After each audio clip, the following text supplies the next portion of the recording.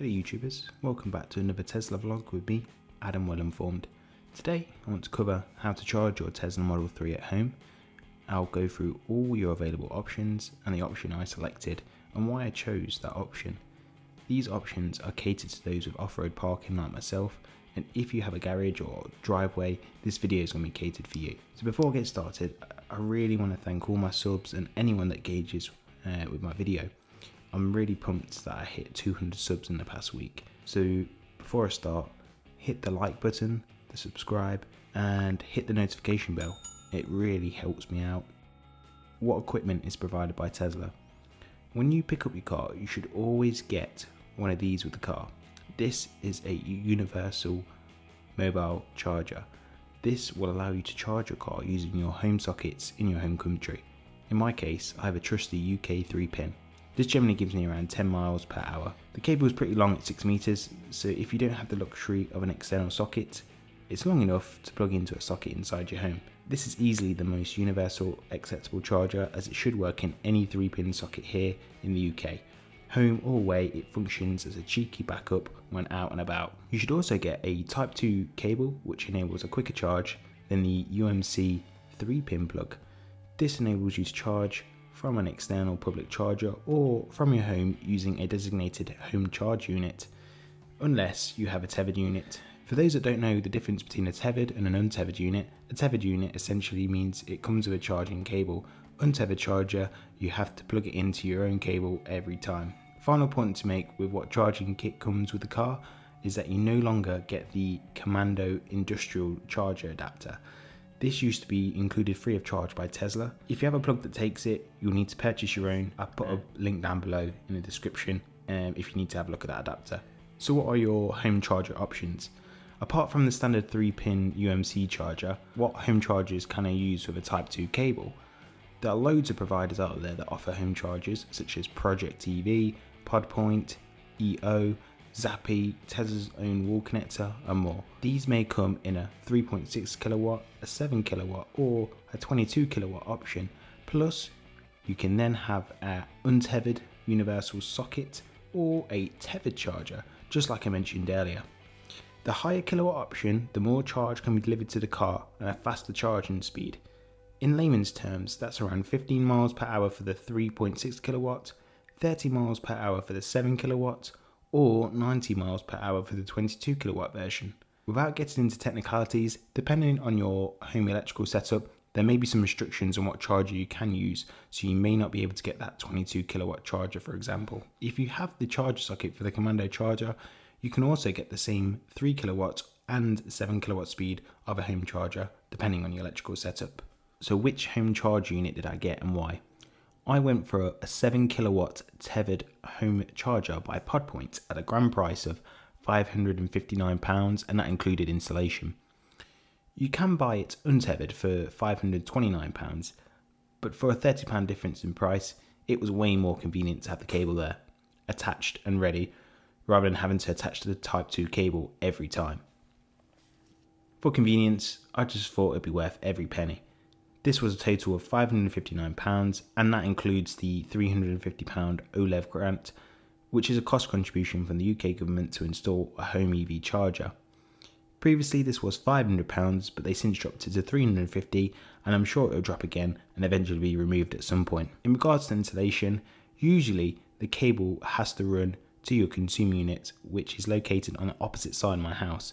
So I was a little worried about having the cables running across the house into the unit, but thankfully I didn't need any cabling inside the house.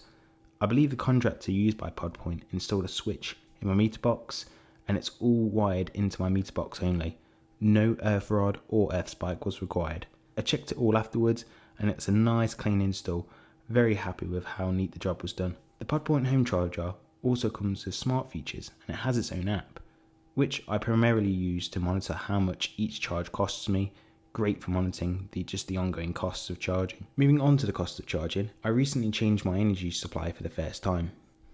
I moved from Eon to Octopus Go. For those of you that don't know Octopus as a supplier, they've won Which Awards for the best recommended provider for the last four years, but most importantly, they can offer super cheap energy to charge my Tesla Model 3. It's like getting a third off your petrol or gas just by changing your supplier. I used to pay around 16 pence per kilowatt, now I pay around 5 pence per kilowatt.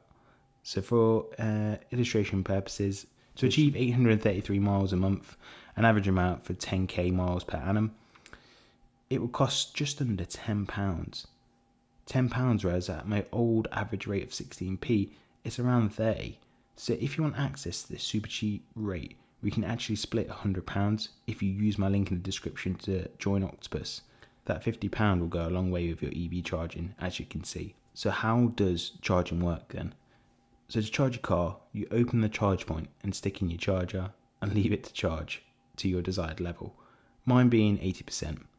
You can change your desired level just by using the screen in your Tesla or using the Tesla mobile app. 100% full charge should only be used for long trips where possible.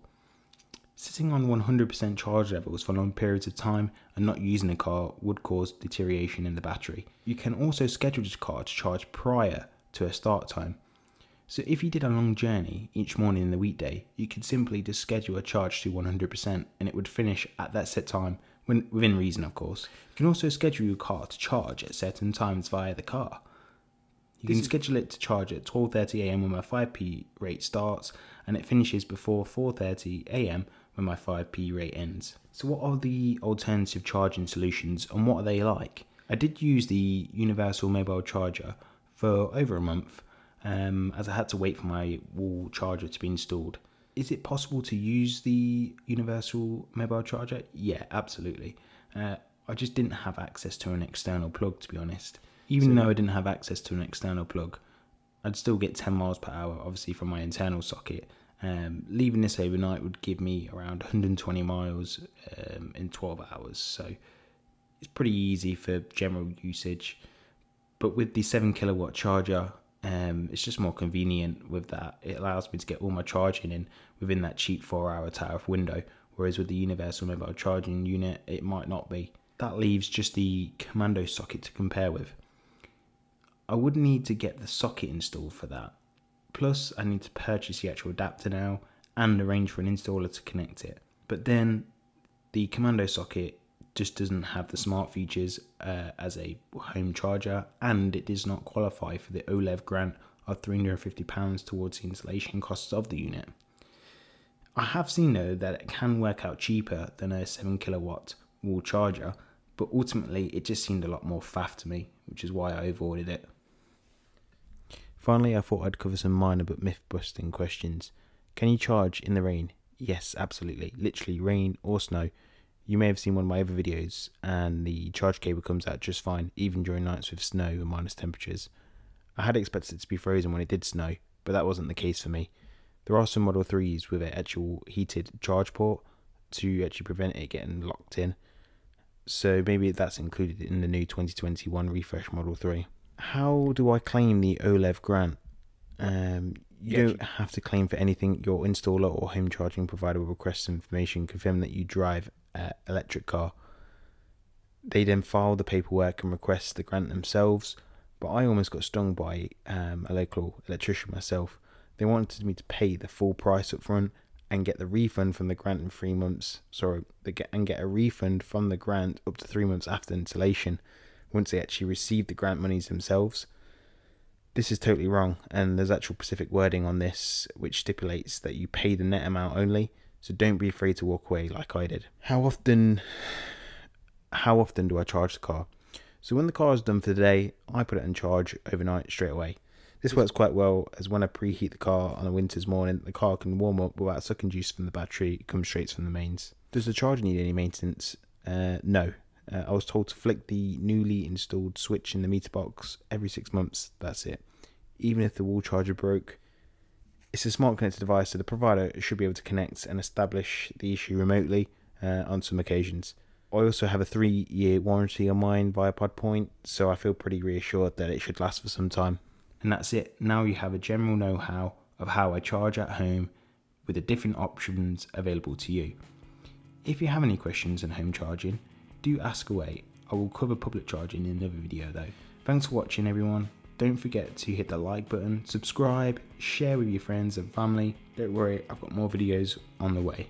Thanks for watching.